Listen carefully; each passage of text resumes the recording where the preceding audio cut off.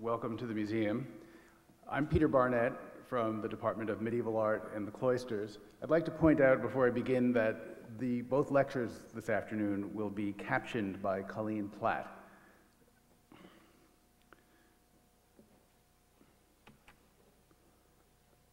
The lights down, please. Most of you will recognize the slides on the screen as representative of the way the cloisters has looked since it opened to the public in 1938 as a branch of the Metropolitan Museum of Art devoted to the art of the Western Middle, Middle Ages, West, Western European art in the Middle Ages. On the left, you see an exterior view from the south, and on the right is a view into the gallery housing the well-known unicorn tapestries.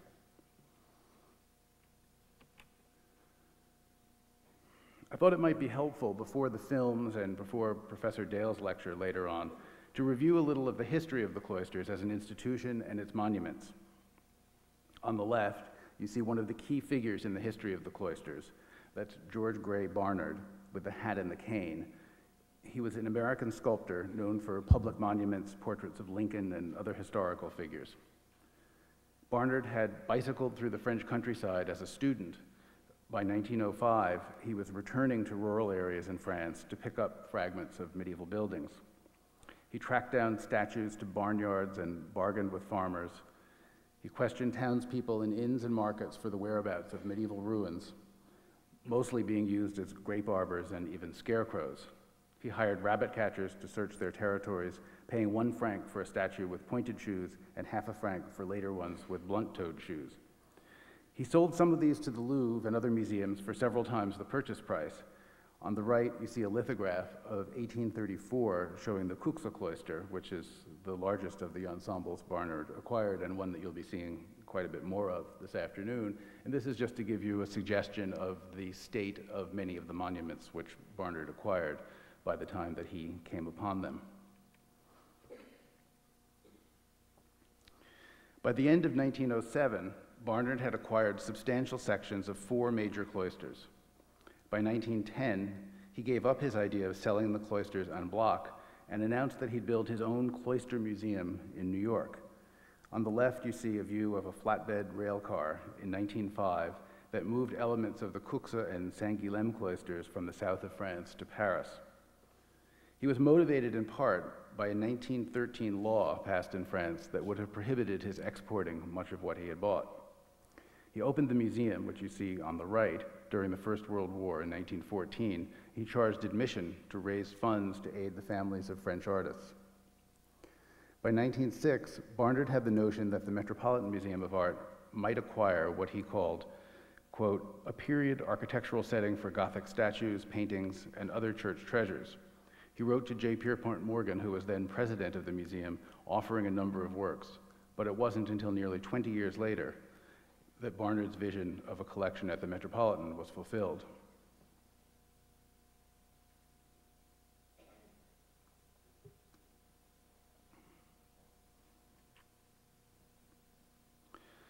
Rockefeller, John D. Rockefeller Jr., that is, had visited Barnard's museum and greatly admired it, but he saw the potential for something more ambitious than what Barnard had built. In 1922, a New York newspaper asked, quote, is this gem of French art to be torn from the environment so patiently and lovingly created for it and sold to a more enterprising city, since Barnard was making the rounds of the major museums at that point. In 1925, Rockefeller negotiated a deal with the Met. He already owned the land, which was the revolutionary Fort Tryon and later the private Billings estate. You see the cloisters under construction on the right on that land. An agreement was reached under which most of the land went to the city for Fort Tryon Park. Four acres of the land was reserved for the new Cloisters Museum, and it was given to the Metropolitan Museum outright, unlike the situation here in the main building where we are today, where the land and the building belong to the city. As many of you know, Rockefeller also bought miles of land along the west bank of the Hudson and gave it to the New Jersey State Park System in order to preserve the view from the new museum.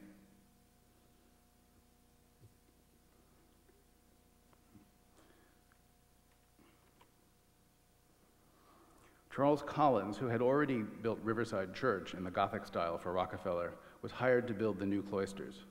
After flirting with the notion of a building, of, after flirting with the notion of building a medieval castle to house the collection, agreement was reached to use 12th century monastic sites as the basic model. But it was never the intention of the founders to duplicate any one building, but rather to construct a modern framework to harmoniously blend elements from different medieval sites.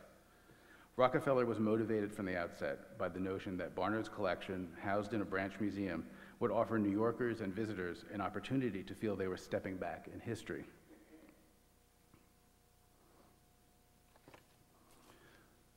So when the museum opened, the galleries had minimal lighting, basically just natural light and candles, and only large-scale objects were on view. These pictures were taken at the time of the opening in 1938, and I think they give you a sense of the sparseness of the installation of the original galleries. The cloisters exhibited Barnard's collection and a few things from Rockefeller himself, most notably the unicorn tapestries.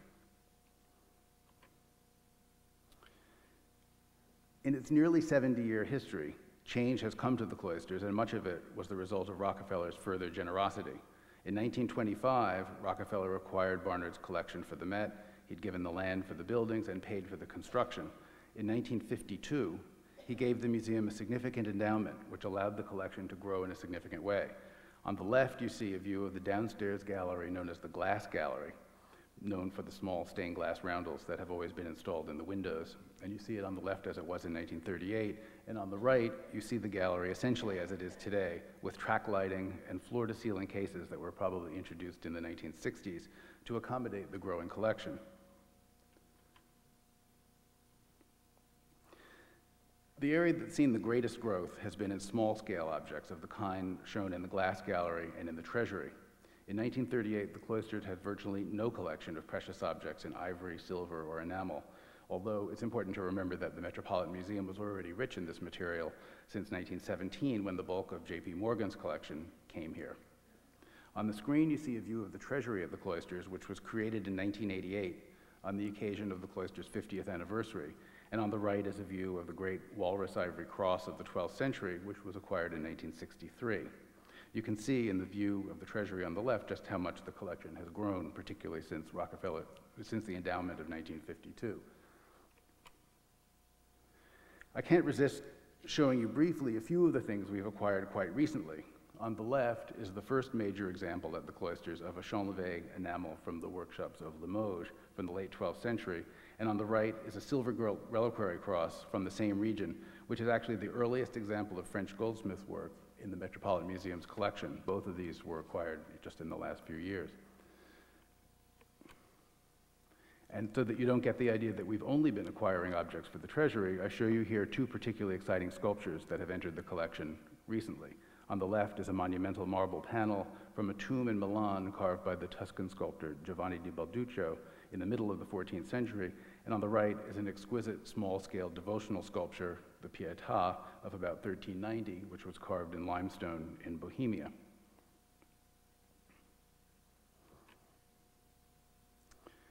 Now, with just one example, I want to conclude with the work of the current capital campaign, which is allowing us to focus on the needs of the building, which has begun to show its age. Over the past several years, we've turned our attention to the leaking roofs and windows that threaten the building and the collection with the ultimate goal, which we hope to reach in the next few years, of bringing a state-of-the-art climate control system to the cloisters. When it was first conceived, the museum was intended to convey the indoor-outdoor sense of a medieval building, and I think in Professor Dale's lecture you'll get a very good sense of, from actual monasteries and medieval buildings, of how this worked. Um, and when the cloisters is at its best, the indoor-outdoor feeling allows for the fragrance from the gardens to waft into the galleries with summer breezes, but at the same time it created serious problems for the fragile works of art inside. A new conservation laboratory was opened at the cloisters a couple of years ago, and we're focused on preserving the collection and working now to develop a climate control solution that will maintain as much of the original sense of the building as possible. On the screen now, you see before and after slides of one recent project, the new skylight and renovation of the late 12th century cloister from Saint-Guilhem-le-Désert. It was recognized when the cloisters was built that the fragile stone used at Saint-Guilhem was too fragile to withstand the freezing temperatures of New York, and a glass block skylight was created for it. And you see on the left the white glass lens which sits on the stone. This white lens is below the glass block skylight and it sits directly on the stone here, creating, I think the slide gives you a sense of how dark and gloomy that gallery was, and it also had begun to leak quite badly. And on the right is the renovated Saint-Guilhem cloister, which opened this past fall, which shows the new skylight, which is actually a clear glass skylight with a diffusing lens below that has some completely um, clear section so that you can see the sky through it. And you can see the architects have devised this little strip of clear story above the stone to give a greater feeling of lift. At the same time, and here I'll show you just a couple details of the wonderful sculpture at Saint-Guilhem, you can see the conservators have cleaned the stone, which had never been cleaned before and also had accumulated drips and so forth from the leaks on it, so that the new light and the clean stone really lets the sculpture of this wonderful late Romanesque uh, monastery shine. So in conclusion, I'd like to encourage those of you who haven't been to the cloisters recently to get there sometime soon. The spring is always a good time to go. Um, the garden's coming into bloom, but of course not before you enjoy the rest of this afternoon's program. My name is Meredith Fluke, and I work for the Office of Education at the Cloisters. And I'm very excited to see the cloisters highlighted and explored in the Sunday of the Met series. And I hope that you're, through today's program, viewing the cloisters in a way that you might not have viewed it before, or if you haven't viewed it before, that you're encouraged to do so soon. It is with pleasure that I introduce today's speaker, Professor Thomas E. A. Dale, who was until recently a longtime resident of New York, of the New York medieval community. After receiving his PhD in art history from Johns Hopkins University, Professor Dale earned a professorship in the Department of Art History and Archaeology at Columbia University, where he taught medieval art from 1990 to 1999. In 2000, he became an associate professor in the Department of Art History at the University of Wisconsin at Madison, where he currently teaches. And he spent the first year of this appointment as a Coleman Fellow at the Cloisters in the Department of Medieval Art at the Metropolitan Museum of Art, a fellowship that he was awarded to work on an article which was subsequently published in the Art Bulletin in 2001 and was entitled Monsters, Corporeal Deformities, and Phantasms in the Cloister of Saint Michel de Cuxa. Throughout, Professor Dale's scholarship is focused around the portrayal and conception of the body in varying media and medieval contexts, while he has concentrated much of his work on specific case studies in northern Italy with articles such as Stolen Property, St. Mark's First Venetian Tomb, and the Politics of Communal Memory, and his book Relics, Prayers, and Politics in Medieval Venetia, Romanesque Painting in the Crypt of Aquileia Cathedral, published in 1997. Professor Dale's research also expands to encompass broader phenomena in Romanesque art, as evidenced in his forthcoming book, Romanesque Corporealities, The Body as Image and Dissimilitude, hmm, dissimilitude in the art of Western Europe, circa 1050 to 1215. Today, Professor Dale will focus on some of his work that grew out of his research on bodies represented in the Cloisters collection, with a talk entitled The Romanesque Cloister, Monastic Ideals and Monstrous Visions in 12th Century Europe. Please join me in welcoming Professor Thomas Dale.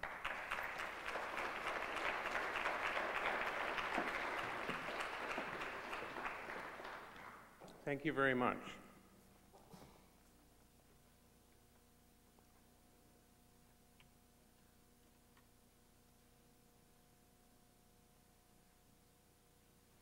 At the heart of the Cloisters Museum in Upper Manhattan, the visitor is offered a privileged glimpse into the secluded enclosure that was a focal point of religious life in the Middle Ages, the monastic cloister.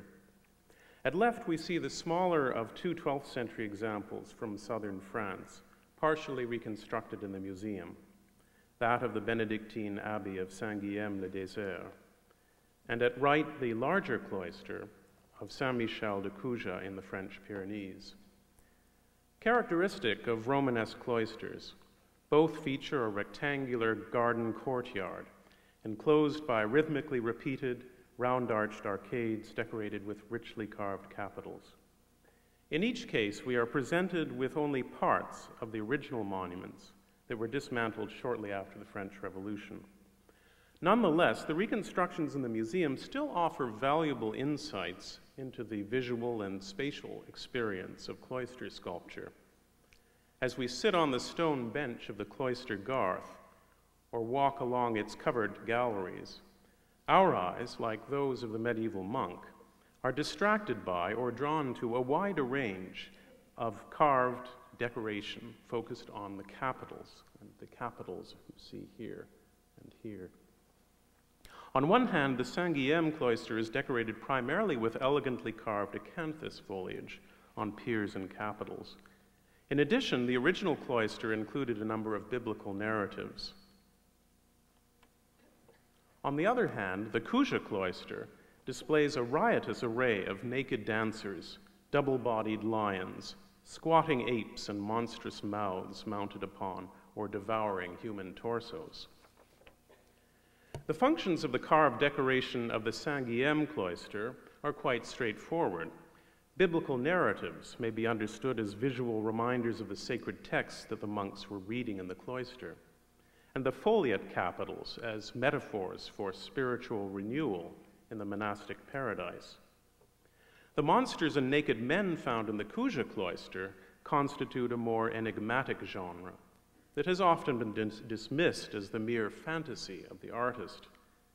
Yet, as I will propose in my lecture this afternoon, by placing Romanesque cloister sculpture in its original functional context, at the heart of the monastic life, we are led to understand both kinds of imagery as serving didactic and even transformative roles for the monk. In the first part of my lecture, I will establish the broader context for understanding cloister sculpture, tracing briefly the history of Christian monasticism and outlining the distinctive architecture and functions of Romanesque cloisters. Then I will turn to the portrait images and biblical narratives that served as positive models for the monks in their attempt to regain the lost paradise in the cloister. Finally, in the third part, I will turn to the more problematic images of monsters, hybrids, and deformed men. It will be suggested that these sculptural images were used to externalize the monstrous visions that both mirrored the monk's own spiritual deformities and potentially disrupted his inner spiritual vision. At a time when physical or corporeal vision was understood to affect spiritual vision, and the physical body was thought to reflect the life of the soul, the depiction of both ideal biblical models and monstrous anti models in sculptural form was also a potentially potent tool in transforming the mind and behavior of the individual monk. Before turning to the interpretation of cloister sculpture, it will be helpful to sketch briefly the rise of monasticism in Western Europe and the circumstances that led to the construction and decoration of Romanesque cloisters. The origins of Christian monasticism can be traced to the deserts of Egypt in the third and fourth centuries. The term monasticism derives from the Greek word monos, meaning one or alone, and refers to the solitary life of prayer, fasting, and sexual abstinence by which the earliest monks sought to purify their fleshly bodies. The more successful hermits, St. Anthony and St. Pachomius, paradoxically attracted such numerous followers that they were obliged to establish a rule or order of conduct to regulate the common life of their newly formed communities. From Egypt, this communal or cenobitic form of monasticism spread in the course of the 4th century and the 5th century to the Middle East and Cappadocia, and thence to the Roman provinces of Italy and Gaul. So the monastic homeland starting here in Egypt, spreading through into the Middle East, Syria, Cappadocia, and then eventually to Italy. The most influential monastic rule in the West was introduced around 530 in South Italy by Saint Benedict of Nursia. Here shown at right in the 11th century Codex Benedictus from Monte Cassino. Initially composed for the monastic communities that St. Benedict had founded at Monte Cassino in South Italy, the Benedictine rule established a pattern for daily life that encompassed both spiritual and practical matters. The monk's day was to be devoted to communal worship in the church at eight times of the day, the monastic hours or offices, also devoted to solitary prayer and meditation in the cloister. Manual labor in the fields to sustain the community, and regular times for eating the shared meals in the refectory, and finally sleeping in the dormitory. Although other forms of monasticism had been introduced into Western Europe from Ireland and the Middle East, the Frankish emperor Charlemagne promoted the Benedictine rule as the dominant model for monasticism from the late 8th century onward. Between the mid 11th and 12th centuries, during the artistic period known as the Romanesque, Western Europe saw a dramatic increase in monastic vocations, paralleled by an unprecedented ecclesiastical building boom and the revival of architectural stone sculpture after a hiatus of nearly 700 years. The impetus for this reinvigoration of monasticism came from the establishment of new monastic orders or congregations of monasteries, such as Cluny and Citeaux, the promotion of pilgrimage, and a broader spiritual reawakening, which led many to seek the quiet refuge of the monastic cloister. One of the purest expressions of the monastic utopia in Romanesque architecture is seen in the Cistercian Abbey of Fontenay, constructed between 1139 and 1147 in a secluded valley of Burgundy. The buildings of the monastic complex are laid out on an ideal grid plan generated by a consistent square module based on the bays of the side aisle of the church. So here we see the church, and if you take one of these squares, this forms the basic unit for the construction of the rest of the plan. As the cloister is central to the monastic life, it is appropriately placed at the heart of the monastery. Square in plan, the cloister comprises an open garden bounded on all sides by covered walkways or galleries, separated from the garden by a stone bench or garth and surmounted by rhythmically repeated open arcades. The walkways provide direct access to the principal monastic buildings involved in the daily routines of worship, study, prayer, eating, and sleeping. To the north lies the Abbey Church, where the community met for worship during the eight monastic offices each day. On the east side of the cloister rises the chapter house, where the community met each day in the presence of the abbot to deal with the administrative and disciplinary matters, and to read one chapter of the Benedictine rule. The dormitory placed directly above it communicates with the south transept of the church so that the monks could attend the early morning offices without going outside. Finally, to the south rise the kitchen and the refectory. The cloister at Fontenay projects an image of order and tranquility, seemingly appropriate to its symbolic role as an image of the monastic paradise. As William Durandus writes in the 13th century, and here I quote, the cloister is a symbol of the heavenly paradise, a paradise where all will live together with one heart in the love and will of God. He further suggests that its columns represent monastic disciplines such as penance and chastity the cloister garden with its flowers and herbs, the virtues, the fountain of flowing water at its center, the gifts of the Spirit. Yet the cloister could also be understood as a much more ambivalent space for the individual monks who were at various stages of their spiritual development. According to the 12th century Cistercian, Peter of Celle, quote, the cloister lies on the border of angelic purity and earthly contamination. End of quote. By this, he means that the monastic enclosure is a proving ground for the individual monk as he struggles to achieve the purity of mind and body that characterizes the angels in the celestial paradise. More concretely, Peter goes on to liken the cloister to a stadium, quote, where those who run the race abstain from fornication, adultery, and all uncleanness, and where the monk has begun to tread upon the world and his own body. End of quote. This process of purification the monk achieves by following the discipline of the Benedictine rule, by imitating the appropriate models furnished by Christ and the saints, and by turning his vision inward to the monastic enclosure, away from the distracting sensual images of the outside world. The discrepancy between an ideal order or discipline and spiritual struggle is also reflected in how the cloister was originally used and decorated. One of its primary functions was to serve as a place for reading, prayer, and meditation. A monastic customary of Cluny, compiled by Ulrich of Zell, informs us that monks would be seated on the garth within the intercolumniations, so that each monk had his own place for quiet reading around the cloister. So, here in this detail, you can see seated between these double columns is where the monks would be seated for their reading. Yet the cloister was far from a tranquil place.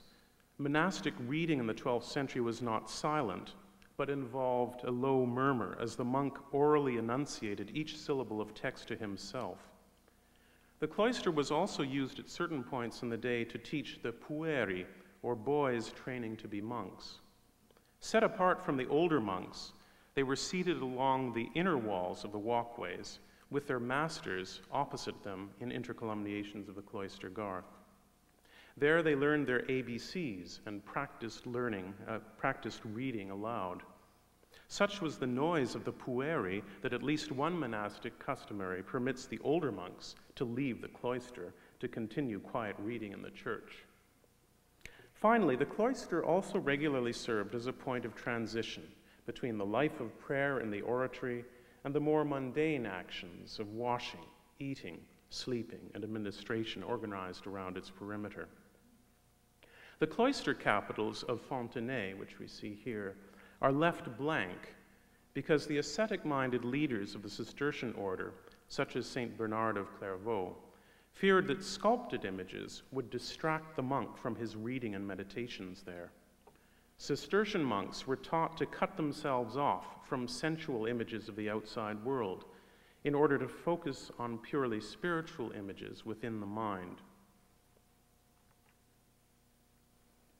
By contrast, the more worldly branches of Benedictine monasticism, led by the Abbey of Cluny and its affiliates, filled their cloisters with carved capitals and relief panels, ranging in subject matter from ostensibly ornamental foliate designs to sacred narratives and monstrous hybrids. Amongst the earliest and best known Romanesque cloisters in France is that of the Cluniac Abbey of Moissac. Completed under Abbot Anquetil around 1100, the cloister comprises one of the most extensive cycles of Romanesque sculpture, including sculpted capitals and relief panels. Moissac displays some 45 examples of sacred narratives, arranged, one or more, uh, arranged on one or more of the four faces of its double capitals. Here we do not find a continuous narrative arranged in chronological order, moving from capital to capital, but rather a disjointed series of discrete exemplars, sometimes interrupted by purely ornamental designs or by more enigmatic images of monstrous beasts and demons. Thus, the capital shown now at right, representing double headed dragons threatening human prey, is juxtaposed with a biblical narrative of the wedding at Cana, shown here in the left hand capital. Unlike a modern art historian or a tourist who might seek to look at each contiguous side of a capital in sequence, walking the length of each gallery of the Garth, the monk would usually see only the two or three sides of the capitals that were immediately adjacent his head as he sat reading within the colonnades. He might also catch a fleeting glance of capitals as he passed through the cloister or along its walkways to and from services and other activities. Under these circumstances, variety and repetition were considered a virtue, allowing monks seated at different points of the cloister to gain a diverse perspective on the monastic life, both positive models to be imitated and negative models, negative images to be purged from the mind. The Vita Apostolica, or apostolic life, is announced as a model for monks in a cycle of portraits adorning the four corner piers and two intermediate piers of the Moissac cloister. Each panel shows a full length figure of an apostle dressed in a Roman toga, standing within an archway on a gently sloping pedestal. and facing in a three quarter pose to one side. Each holds a book in one hand, and Peter, here shown uh, in uh, detail, uh, to the right of Paul, also holds his distinctive uh, emblem of the keys. All the figures are carved in a quite shallow, compressed relief, modeled economically with widely spaced concentric drapery folds over relatively flat bodies and nearly cylindrical limbs. Yet they are animated by large, piercing eyes and emphatic blessing gestures. One further relief, placed opposite the entrance to the chapter house, represents Abbot Durandus, who was sent from Cluny to reform the monastery in 1047. Durandus is represented in his additional role as the Bishop of Toulouse, vested in an episcopal chasuble and holding a crozier or pastoral staff in one hand. While the apostles are mainly grouped in piers turned inward toward each other, Abbot Durandus appears as the only fully frontal figure staring out directly at the viewer. Viewed as a group, the Durandus uh, panel and the apostles evoke a primary analogy for the monastic life that was promoted by the Gregorian reform of the church beginning in the second half of the 11th century.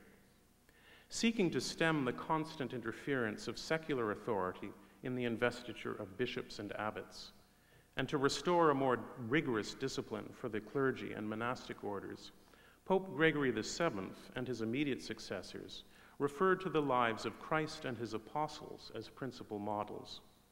Like the apostles, monks were enjoined to give all personal possessions to the poor, to hold all property in common, to share prayer and work together with one heart and one soul. Just as the apostles had been led by Christ, so the monks were guided by the abbot as spiritual father of the community. The same ideal was extended to the regular clergy, Priests were now encouraged to join colleges of canons regular, who lived the monastic ideal while serving parish and cathedral churches, administering to the laity. The fact that Abbot Durandus occupies the central position nor- normally given to Christ himself emphasizes the elision between the apostolic past and the monastic present under the impact of the Reform. The very style of these reliefs reinforces the notion that the apostles served as role models to be imitated by the monks. The compressed, shallowly carved bodies and rather stereotyped facial features of these figures have often been characterized as representing a primitive phase of Romanesque sculpture, which would only later be fully developed into more illusionistic, descriptive carvings in higher relief. But I would suggest that these relatively abstract figures repeated with minor variations in facial type, might be understood as embodying the ideal of sameness and imitation fostered by 12th century religious writers. As the historian Caroline Bynum has emphasized, the much celebrated rediscovery of the individual in the 12th century was very much tied to corporate awareness. The individual was defined in terms of distinctive social roles, and individual behavior was made ideally to conform to those ideal models. From the late 11th century on, this notion of group conformity was frequently described by using the concrete metaphor of the seal and its imprint in soft wax. Hugh of St. Victor, for example, advises the novices of his order to acquire the likeness of God by imitating the model of the saints. And here I quote Why do you think, brothers, that we are instructed to imitate the life and conduct of good men, unless so that through imitation of them we may be reformed to the likeness of a new life. In fact, in them the form and the form of the likeness of God is clear, and therefore when we are imprinted by these things through imitation, we are also shaped in the image of the same similitude. We who desire to be reformed through the example of the good as if by a certain seal that is very well sculpted, discover in them certain lofty vestiges of works like projections, and certain humble ones like depressions. End of quote. Metaphorically, then, these sculpted images reminded the monk that he was to conform to the ideal models of the apostles, to be imprinted with a group identity that perfected his individual self. Complementing these portrait models, a series of narrative capitals at Moissac and the Abbey of La Daurade near Toulouse present the theme of the Vita Apostolica in narratives from the life of Christ in the, in the company of his apostles. A direct relationship between the apostolic model and monastic ritual is illustrated here by the episode of Christ washing the feet of his disciples on a capital from Moissac at left and a second example from La Daurade at right. In both cases, Christ appears at the far left, leaning down to wash the feet of Peter, who gestures towards his head to indicate that he wants Christ to wash not only his feet, but also his hands and head. Uh, this is uh, Christ, and here is Peter. It's lost part of the head there, and again, the same two figures here at Moissac. It is the moment during the Last Supper when Christ washes his disciples' feet in an attitude of extreme humility and commands his disciples to do likewise as a symbol of their spiritual rebirth, often described by medieval commentators as the baptism of the apostles. This ritual was imitated by monastic communities once a week before dinner, usually in the cloister itself. Thus, these capitals served not only to remind the monk of the virtue of humility required in the service of one another in the apostolic life, they also provided a visual model for the ritual which symbolically transformed the monks into apostles of Christ. Another way in which the life of Christ might be used to project the apostolic model into the minds and thoughts of the monks is illustrated by the late 11th century pier relief depicting Christ's journey to Emmaus in the cloister of Santo Domingo de Silos in northern Spain. Here, the taller figure of Christ physically projects beyond the frame into the monastic viewer's space and turns around in an elegant pirouette to confront two of his disciples who do not yet recognize him as the risen Christ, but urge him to join them on their journey to Emmaus. On one level, it is an image of Christ's palpable presence and proof of his corporeal resurrection. On another level, the Emmaus scene refers to the physical and spiritual journeys of pilgrimage. Paralleling contemporary liturgical dramas, this relief dresses Christ as pilgrim. He holds a distinctive spiral staff in one of his hands, in his left hand, and he wears a skull cap over his head and further carries a satchel decorated with a scallop shell the emblem of pilgrimage to Santiago de Compostela in northern Spain. For Benedictine monks, this image would have had a particular resonance in light of the limitations traditionally imposed on their own physical journeys.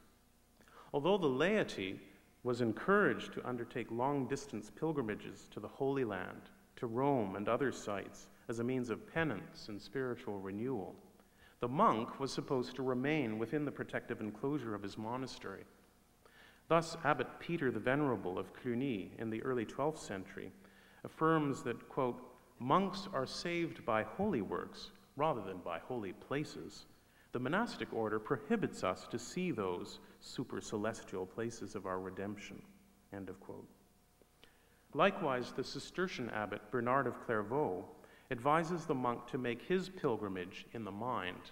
And again I quote For the object of the monk is to seek out not the earthly, but the heavenly Jerusalem, and this not by proceeding with their feet, but by progressing with their feelings. End of quote. Thus, the monk's pilgrimage was understood not as a physical journey, but as a spiritual quest for the celestial paradise within the monastic cloister. Although Bernard was advocating a pilgrimage of the mind in response to the reading of scriptures and the listening to sermons, for the less ascetic Benedictines, pictorial images offered an equally powerful visual stimulus for the monk's spiritual journey to the holy places of Christ's life. The Passion narratives in the capitals from the Abbey of La Daurade, now in the Musée des Augustins in Toulouse, provide particularly compelling examples. As Ilene Forsyth and Linda Seidel have emphasized, the very style of the capitals seems intended to help the monks visualize and experience in more palpable terms the events of the Passion of Christ, as if through the eyes of the apostles. In the capital representing the Last Supper, shown here, the sculptor presents the meal taking place within a tangible architectural space, under a canopy supported on two colonnettes, and surmounted by towered battlements representing the city itself. The table physically projects forward from the columnar supports into the viewer's space, while the traitor Judas reaches from the foreground left across the table to dip his bread in the dish with Christ. John the Evangelist, the youngest and most beloved disciple, leans his head on Christ's breast in a gesture of affection. Symbolically, this tender gesture also alludes to John's exemplary role as spiritual son and lover of Christ. Medieval commentators singled out John as the prototypical sponsa, or mystical bride of Christ, a crucial model of the contemplative life for monks as well as nuns, both of whom were to sublimate physical love into spiritual union with Christ. John was also understood as an exemplary visionary. The liturgy of his feast day describes him as the blessed apostle to whom the celestial mysteries were revealed. It is thus appropriate that he is represented on a second capital from La Daurade as a model for the monk's vision of the empty tomb following the resurrection. Here, both senses of touch and sight are evoked. The disciple eagerly strides forward to see the tomb with his own eyes leaning forward and touching it as he dramatically gesticulates with one hand and steadies himself by holding the central column with the other. This is John here, the tomb here. As the action moves across the three faces of the capital from right to left and around the corner to the tomb, the viewer within the cloister walk would have been drawn into the narrative in a very tangible way, following the movement around the capital with his eyes. Perhaps the monk would also have understood the arcades supported by columns on the capital as the image of his own cloister space, from which he participated vicariously in a pilgrimage to the tomb of Christ. It is precisely this eyewitnessing of the life of Christ that monks were being trained to do, for in their own exer- sorry, were being trained for in their own exercises of spiritual seeing. At the same time, the very palpable style of these capitals seems to reflect the 12th century notion of the connection between the physical sense of sight and spiritual seeing. For both the apostles and their monastic imitators, seeing was believing. Contrasting with these ideal monastic models are the monstrous and ostensibly profane images so famously condemned by St. Bernard of Clairvaux. In his Apologia, written in 1125 to Abbot William of Saint Thierry, Bernard asks, and here I quote In the cloisters, before the eyes of the brothers while they read, what is that ridiculous monstrosity doing?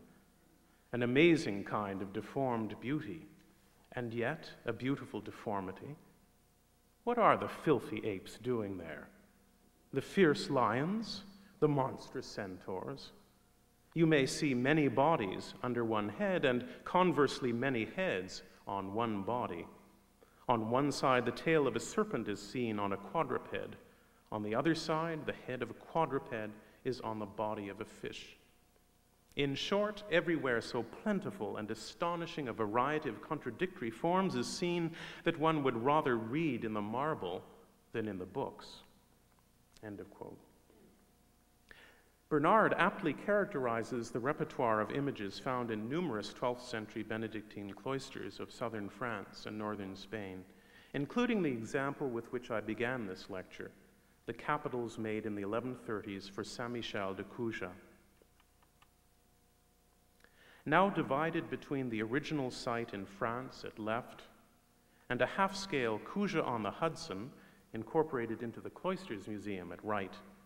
These capitals display an unusually varied array of monsters and hybrid beasts, paralleling those described in St. Bernard's contemporary text. Here we find heraldically repeated double bodied lions and also bears joined to a single head. Filthy apes seated side by side with naked men, the ape and the man. Monsters from antiquity, such as the siren. And naked dancers interspersed with monstrous mouths, either surmounting or devouring human torsos. In his influential essay on the aesthetic attitude in Romanesque art, Meyer Schapiro saw in Bernard's cloister capitals the expression of an individualistic secular imagination. And here I quote The new art is condemned precisely because it is unreligious and an example of a pagan life attitude which will ultimately compete with the Christian an attitude of spontaneous enjoyment and curiosity about the world, expressed through images that stir the sense and the profane imagination. End of quote. Writing in the age of abstract expressionism in the late 1940s, Schapiro believed he had found a medieval model for modern artistic freedom. But he failed to explain why such imagery would have been acceptable to the modern, uh, excuse me, to the monastic community that commissioned and regularly viewed the capitals. Before offering an alternative explanation, it must be recalled that Bernard's rejection of monsters in the cloister was part of a broader polemic aimed at the more worldly Benedictines led by the Abbey of Cluny. Bernard and the more ascetic minded members of his own Cistercian order sought to return to a monastic lifestyle adhering much more closely and strictly to the Benedictine rule. As we have already seen in the case of the Fontenay cloister, this included the rejection of figural imagery, both because of the expense and because of its potential to distract the monks from their meditation. Thus, Bernard does not condemn the monstrous hybrids, apes and centaurs, because they have no meaning, but rather because he fears that they will distract the monk from his purely spiritual vision. Likewise, when we seek a justification for the appearance of apparently fantastic creatures in the cloisters of more worldly Benedictines, we need to take into account the broader current of monastic thought that deployed both mental and material images as beneficial aids for the monk's spiritual improvement in the cloister. An essential clue to recontextualizing the monstrous images of the cloister is offered by the frequent juxtaposition of monstrous and human bodies in the Cuxa capitals. In some instances, naked men displaying the cropped hair and tonsure of monks squat in the poses of apes on adjacent corners of the same capital, thus assimilating monk to beast. Yet on the same capitals, the center of each face is marked by more athletic figures who stand in erect poses and attempt to raise their squatting brethren by the arms. Understood within the context of medieval religious psychology, such juxtapositions suggest a fundamental preoccupation with the boundaries between humanity and the animal or monstrous. Monsters, or monstra in, in Latin, by definition demonstrate or point to a deeper reality the monstrous or deformed body and its verbal or visual representations functioned as an image of the spiritual inner man and his behavior. They externalized interior conflicts and anxieties that went to the very core of the individual's self identity. Thus, William of Saint Thierry, the recipient of St. Bernard's diatribe against monstrous cloister capitals, argued that man was distinguished from beasts principally by the faculty of reason, yet he could still be influenced by the lower animal power of sensations associated with the imagination. The ideal soul, which follows the lead of reason, was understood to be cast in the image of the Creator, a man who stands erect, reaching toward heaven and looking up. By contrast, the irrational beings who slavishly serve the lusts arising from the senses are said to, quote, have put off the image of the Creator and put on another image, one that looks at the ground like an animal, one that is beastly, end of quote. We see William's notion of putting on a bestial image translated quite literally in the capitals that juxtapose naked monks with apes, whose squatting poses they imitate. By contrast, the athletic looking men standing in erect poses on the central axis of each capital, raising their animal counterparts by the arms, seem to represent a more positive role model for the monk. They evoke in concrete terms Peter of Celle's metaphor of the monk as athlete, struggling to win the race against vice in the stadium of the cloister. The threat to corporeal and spiritual identity is visualized more dramatically by a second group of capitals depicting monstrous hybrids. Amongst this group, we find one traditional hybrid from antiquity, the siren. Repeated on all four corners of a single capital, the Cuxa siren displays a beautiful female head with almond shaped eyes and long locks of braided hair falling over gently sloping soldier, uh, shoulders. And I apologize, this is a little bit dark, taken against the light, but I think you can see the head. The, this is the best preserved side, unfortunately, in the shadows, the, but you see the eyes here, the long braided hair. And this, this side, you can see it from profile. The heads have been uh, lost uh, in this corner here. The grace of the face is greatly enhanced uh, in the preserved head by the rare use of the drill for hair and eyes. Although breasts are articulated, the flesh gives way to a scaly skin, and the lower body divides into a double serpentine tail. The siren owes its prominence in medieval art to St. Jerome's translation of Isaiah 13, 21 to 22 in the Vulgate. And here I quote But beasts reside there and their places are filled with dragons, and ostriches live there, and satyrs also dance there, and they respond there with ululations in his palaces, sirens in the houses of pleasure. Jerome's own commentary on this passage popularized the idea of the siren as courtesan, the symbol of carnal pleasure and lust. In keeping with what was said earlier regarding monstrosity as an outward symbol of conflicting natures and behaviors, the siren is also described in the moralized natural history of the medieval bestiary as a creature of deception who conceals her monstrous tail beneath the waters and exposes an attractive female upper body. Finally, the siren was also a palpable visual equivalent to the many monstrous guises that reformers such as Peter Damian ascribed to women as the seducers of monks and priests. For Peter, women are, and here I quote, devil's choice tidbits, the virus of the minds, chambers of unclean spirits, nymphs, sirens, lamiae, followers of Diana.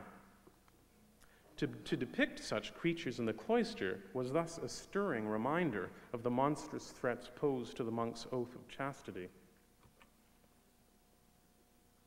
A third, more inventive category of monstrous beasts poses a more direct threat to the monk's humanity. The capital at left represents on its corners what at first appear to be a hybrid of man and beast. Below appear the naked legs and buttocks of a human figure, while above we find a monstrous feline head with pointed ears, large almond shaped eyes, a narrow nose with flared nostrils, and a gaping jaw lined with warts. In this instance, there is a certain ambivalence in presentation which makes it possible that we are dealing either with a true hybrid, a man with a beast head mounted on his torso, or a naked human being shown in the process of being devoured. A second example, still found in situ at the French Cuxa at right, unambiguously shows a human body being devoured. In this case, smooth skinned human arms and hands emerge from the monster's toothy jaw. Voracious, monstrous mouths such as these could evoke a multiplicity of meanings for the monastic audience. On one hand, they alluded to the monks' very real fear of wild animals in the countryside surrounding the monastery, and those threatening beasts mentioned in the Psalms. Psalm 22, for example, refers to the enemies who, quote, gaped on me with their mouths as a ravening, as a ravening and roaring lion. On the other hand, as Michael Camille has suggested, the devouring mouths could be understood more metaphorically as images of the monk's active ruminatio, that is, his rumination on Scripture. While he was reading the cloister, the monk was trained to pronounce aloud each syllable and fully digest or chew the sacred text in order to understand its spiritual meaning.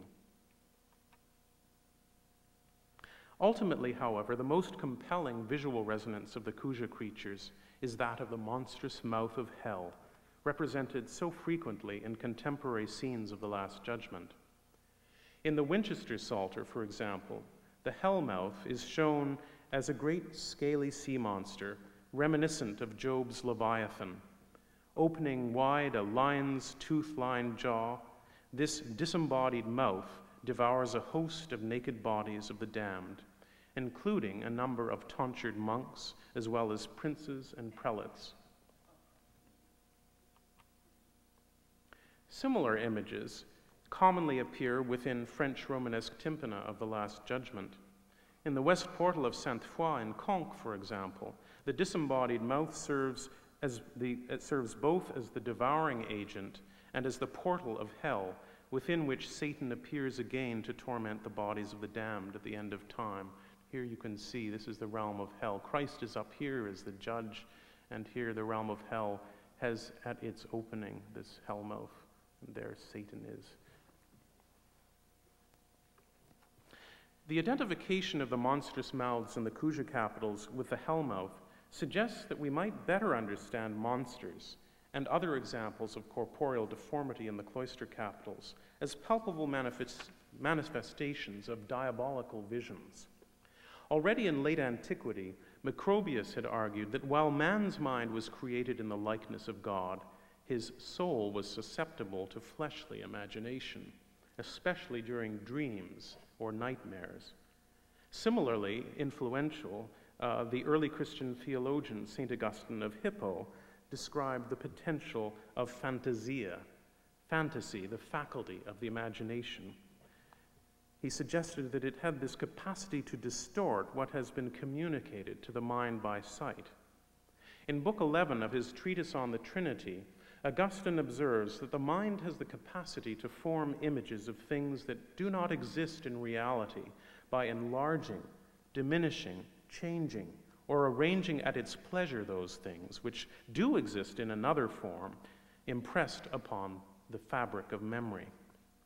Later in the same book, he gives examples of the kinds of phantasms that one might imagine through such manipulations of reality black swans or four footed birds. In these cases, Augustine argues, the mind must exercise its will properly in order to avoid being harmed by the potentially shameful fantasies of the imagination.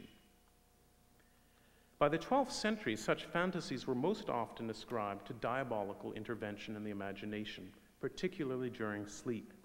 According to the Cistercian treatise on the spirit and the soul, and here I quote, since demons cannot create natures, they do something which makes certain things seem to be what they are not.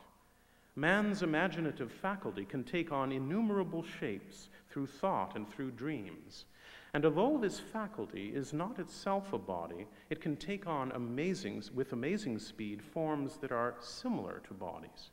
When man's bodily senses are in a state of slumber or of suppression, the imagination can be diverted to the corporeal shapes of other perceptions. End of quote. Demons not only were seen as the force that generated the disturbing, monstrous visions, and I'm just going to go forward here on the left. Demons not only were seen as the force that generated the disturbing, monstrous visions and the phantasms of the imagination, they were also described and depicted as monstrous hybrids. The snarling, beast headed devil with spindly legs, a serpent's tail, and a lion's paw, shown here from the tympanum of the Last Judgment of Autun Cathedral at left, provides a rough visual equivalent to the verbal descriptions of demons by a Cistercian writer, Herbert of Clairvaux. I'm just focus on this figure here while I'm reading. Demons have the habit of appearing in different forms, but there is a form, or more accurately, a deformity, under which guise one sees them most often. In terms of general contour of their bodies, they resemble monstrous men, gigantic in stature, black like Ethiopians in skin color, agile like serpents, ferocious like lions. Marked by large heads and prominent inflated bellies, they have a very frail and long neck, and also arms and legs of disproportionate length.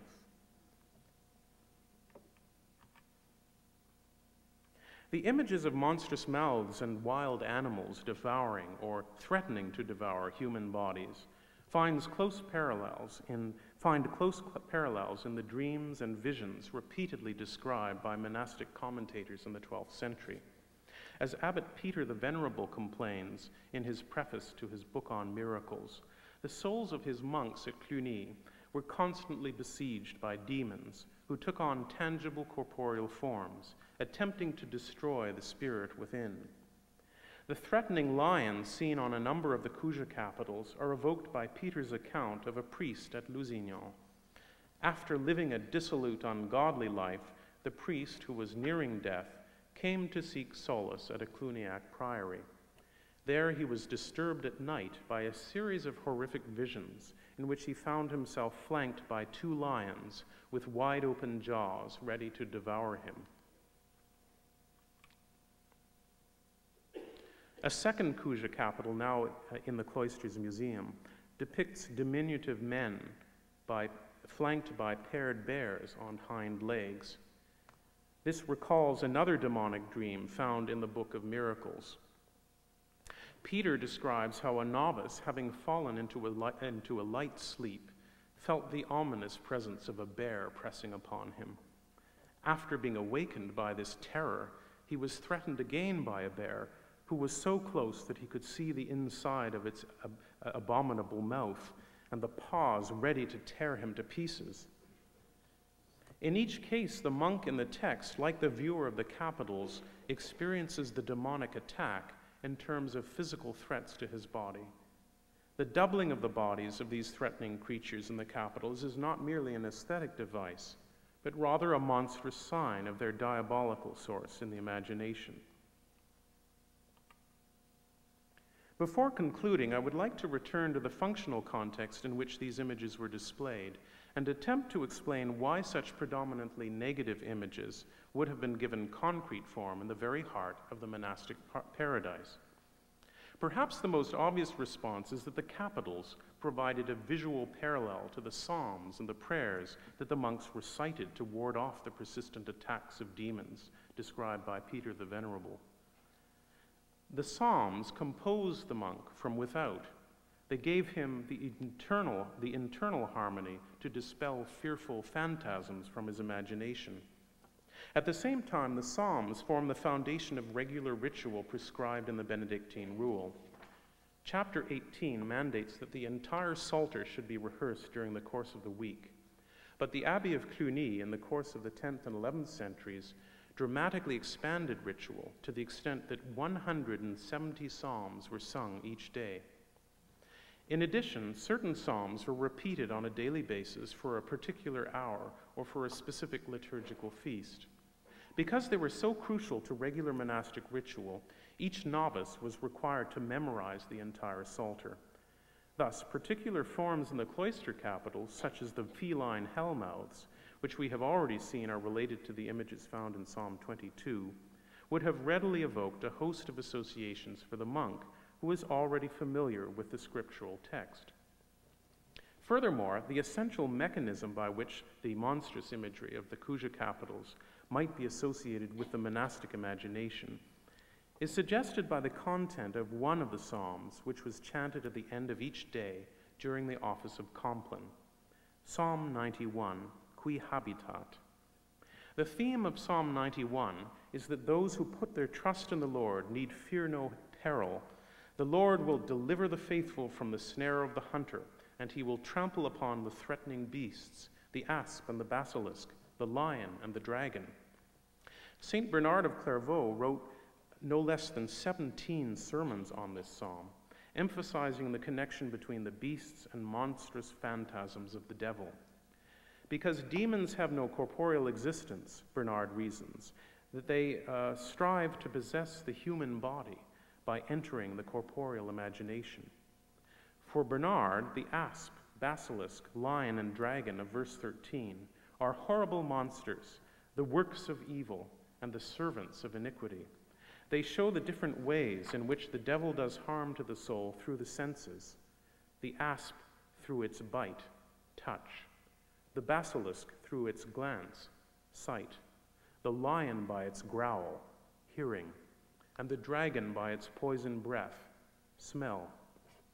Given such sentiments, it is appropriate that Psalm 91 was sung during the office of Compline at the end of the monastic day. Compline was designed to prepare the monks for sleep and thus protect him from the demonic forces that might assail his imagination with disturbing phantasms. This is reflected in the choice of prayers, psalms, and hymns. In addition to Psalm 91, the Benedictine rule prescribes the singing of Psalms 4 and 133. Psalm 4 opens with a plea for God's mercy and then advocates self examination and repentance at this vulnerable time of sleep. It concludes in the hope of a peaceful sleep, and here I quote In peace I lie down, and at once fall asleep, for you alone, Lord, make me secure in hope. After the battles with monsters in Psalm 91, the last of the Psalms, 133, calmly reaffirms God's protection during the night. Perhaps the most explicit reference to the dangers of the night comes in the hymn frequently sung at Compline, Te lucis ante terminum, to you, O Lord, before the end of the light.